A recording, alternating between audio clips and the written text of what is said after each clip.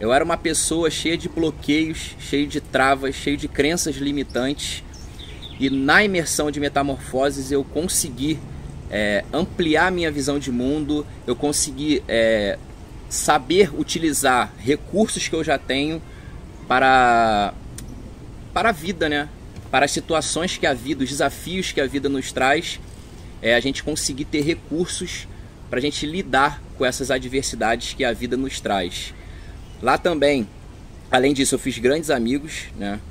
E eu consegui me superar. Uma vez que a gente expande a, no, a nossa nosso modelo de mundo, uma vez que a gente expande a nossa consciência, não tem mais como voltar, né? É um caminho sem volta.